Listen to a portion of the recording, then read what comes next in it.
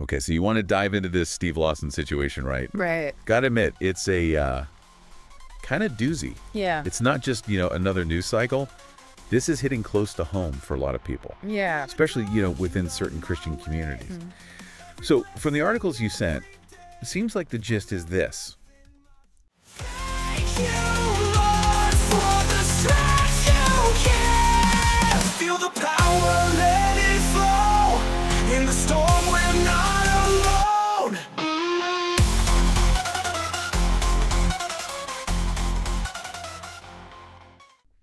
Steve Lawson, and you probably know the name, pastor, author, big in Reformed evangelical circles, accused of having an affair. Right.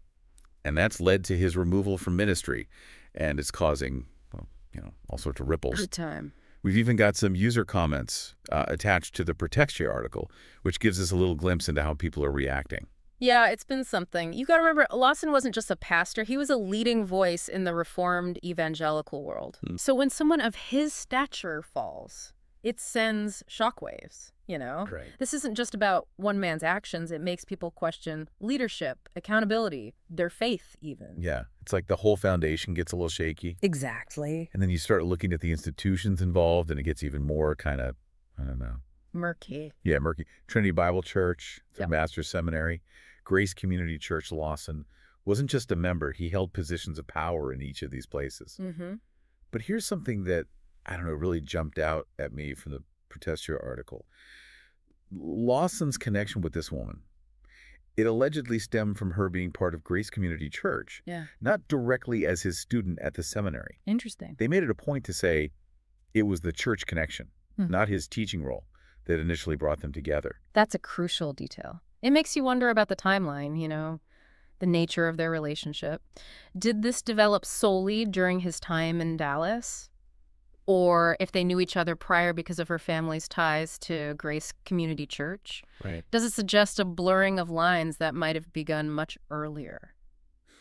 It's like suddenly there's this whole other layer of history we need to consider. Right. And then you factor in the claim about Lawson allegedly funding her travel. Mm-hmm. The sources mention he traveled a lot for ministry, which on the surface seems, you know, normal for a pastor of his stature. But when you connect the dots, Yeah, it makes you wonder if that frequent travel, which often comes with a degree of autonomy, less oversight, right? might have provided cover for an affair. Yeah. It's not uncommon, unfortunately. Okay, so we've got potential power dynamics, questions about the timeline, and now the possibility of Lawson using his position and resources for something, you know, completely inappropriate. Mm-hmm. What's the reaction been like from these institutions? Because from what I'm reading, it's been pretty quiet.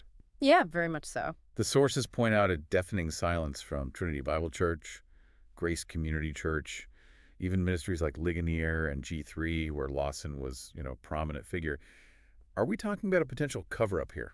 It's certainly a question worth asking. Uh, the lack of transparency is concerning, to say the least. Right. When institutions remain silent, especially in situations as serious as this, it naturally raises red flags. The Protestia article even mentions whispers of whistleblowers who allegedly tried to raise concerns about Lawson's behavior, Mm. but faced pushback. Now, they haven't confirmed those claims, but the mere possibility is, I don't know, it's chilling. It is. If there's any truth to that, it suggests a systemic issue within these institutions. Think about it. If people tried to speak up and were silenced, what does that say about the culture? Yeah.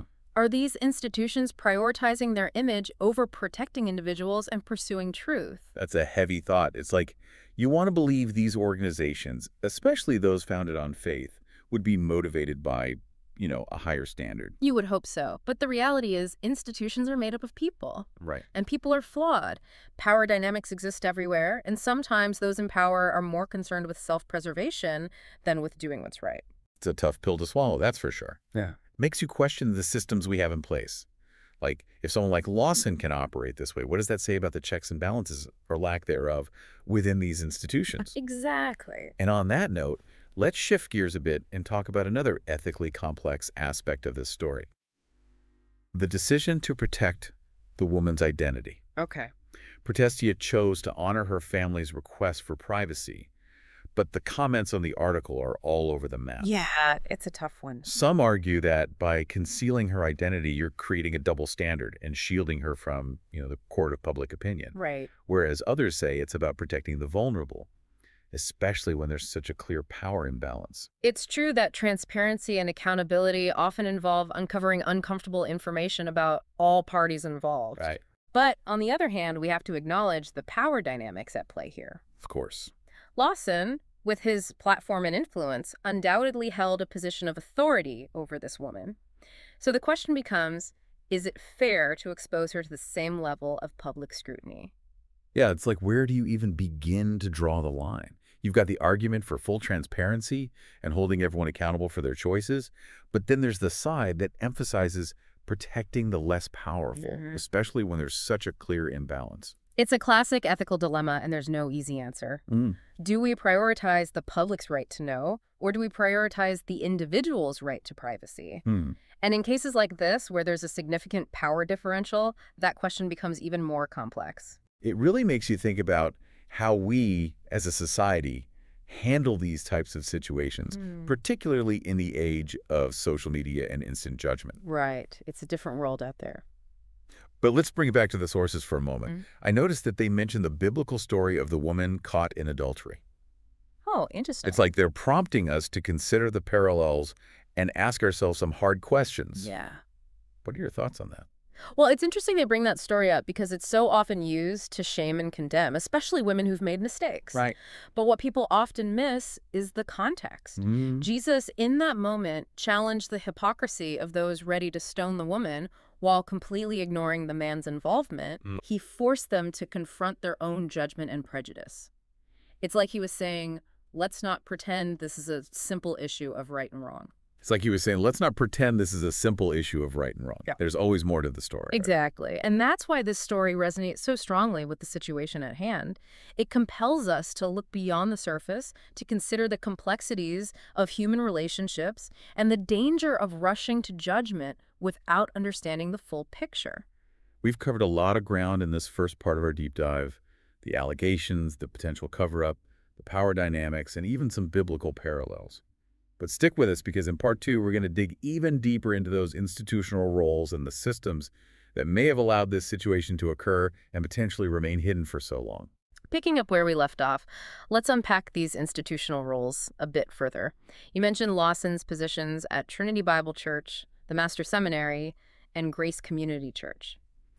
To truly understand how this situation unfolded, we have to look at the power dynamics inherent within these institutions. It's like those diagrams with the concentric circles, right? Right. Lawson's right there in the middle and the influence just ripples outward. Exactly. So how do you see those dynamics playing out in this case?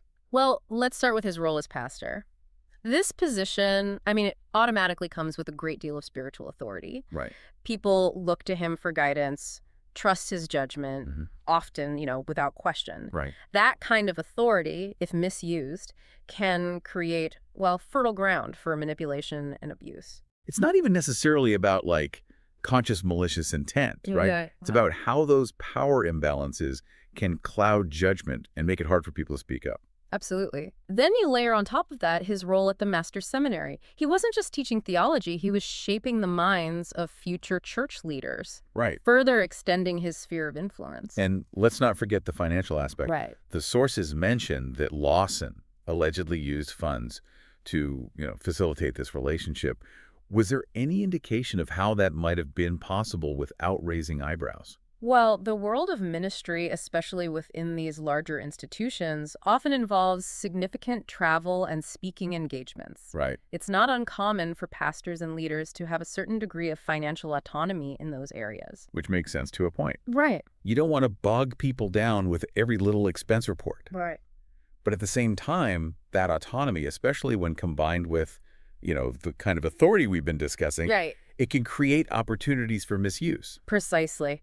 And when you factor in the inherent power imbalances within these religious institutions, where questioning leadership is often discouraged or even seen as a form of like spiritual rebellion, Right. it becomes even easier to see how these kinds of situations can fester in the shadows. It's like that saying, sunlight is the best disinfectant. Right. When things happen in secret, it's easier for those in power to, you know, kind of exploit the system. And that's why the lack of transparency from these institutions is so concerning. Hmm. The sources suggest a deafening silence from Trinity Bible Church, Grace Community Church, even ministries like Ligonier and G3, where Lawson was, you know, a respected figure. Right. We touched on those whispers of whistleblowers earlier. Right. The fact that Protestia even brought it up, even though they couldn't confirm those claims, is telling.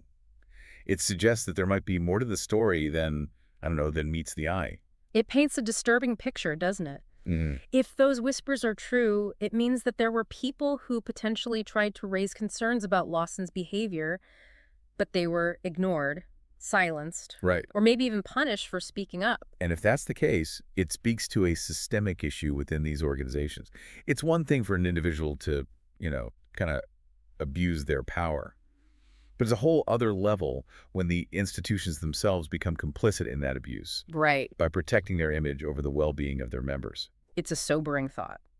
And it raises questions about whether these institutions are truly equipped to handle these situations with the level of transparency and accountability that's needed. And to be fair, this isn't just an issue within religious institutions. Right. We've seen similar patterns play out in politics, entertainment, academia, anywhere there are power dynamics at play. Exactly. It's a human problem. Yeah. But that doesn't mean we should just shrug our shoulders and accept it, right? We need to keep asking these tough questions, holding institutions accountable, and demanding better.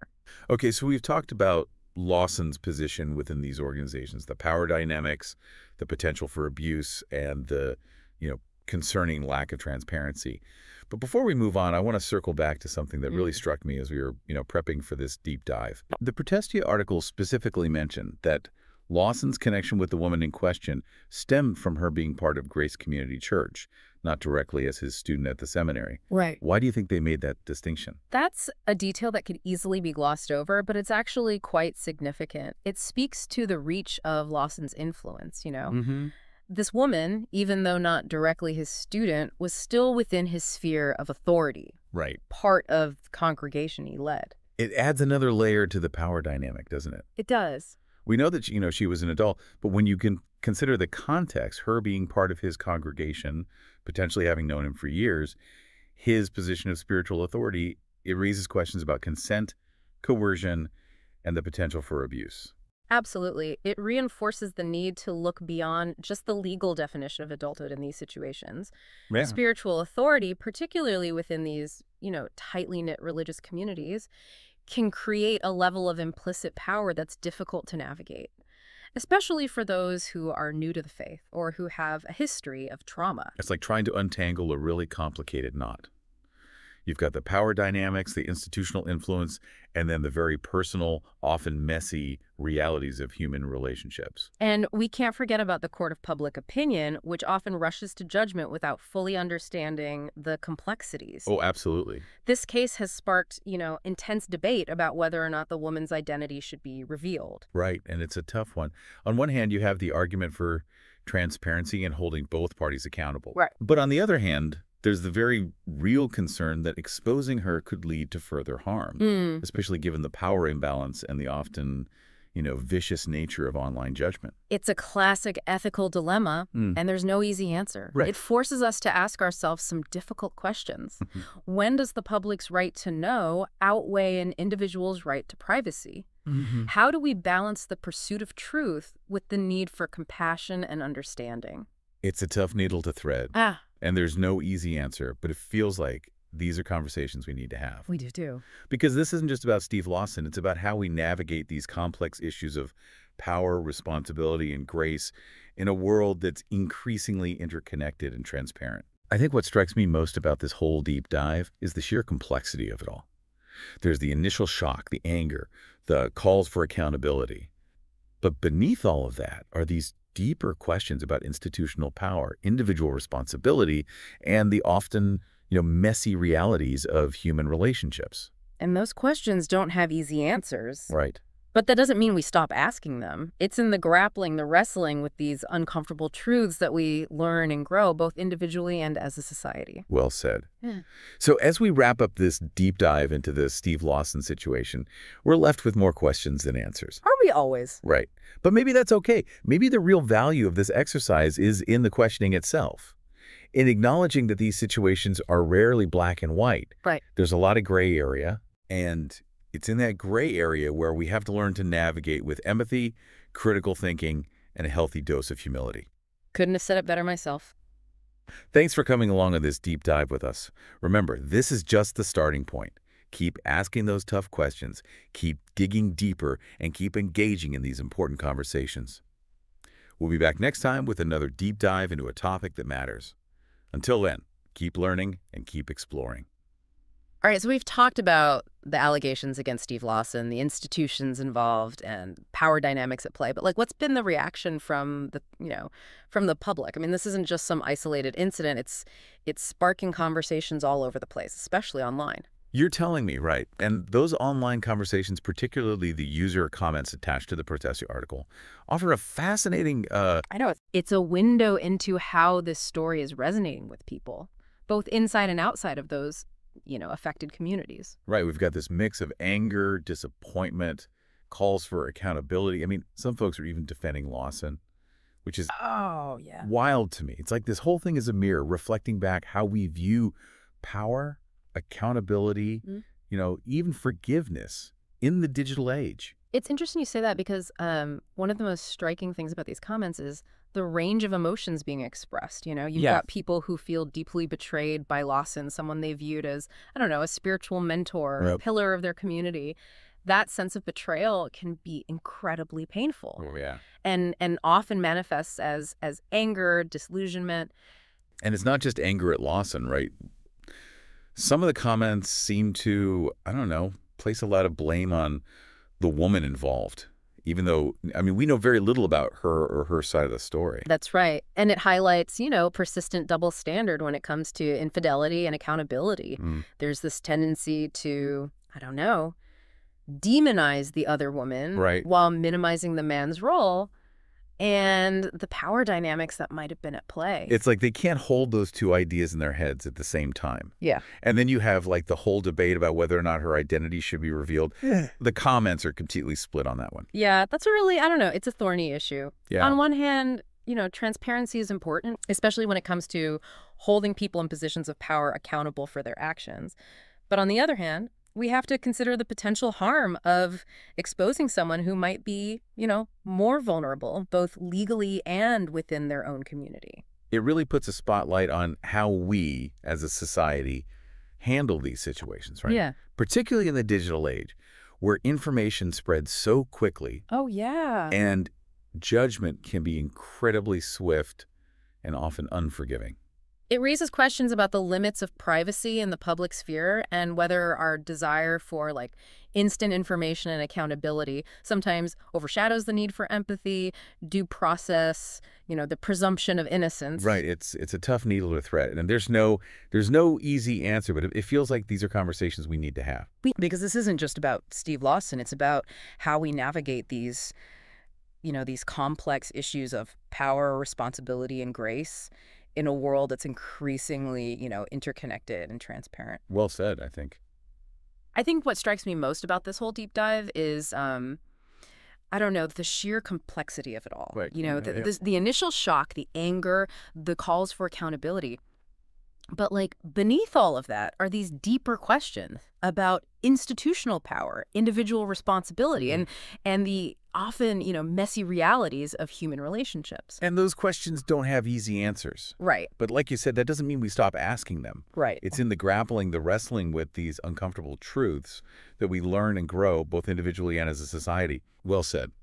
Well, as we wrap up this deep dive into the Steve Lawson situation, yeah. I think, you know, we're left with more questions than answers, but um, Maybe that's a good thing.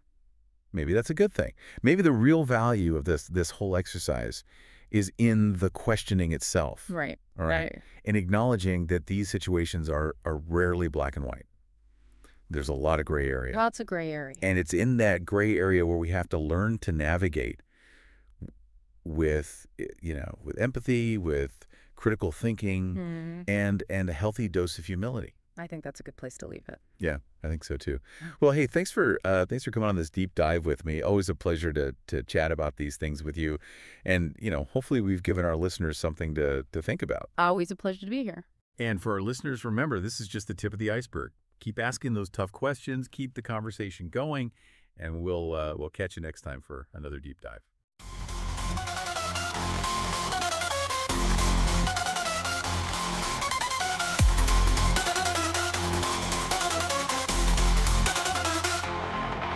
To learn my way, every blessing every day, from the breath in my chest, through the peace in my rest.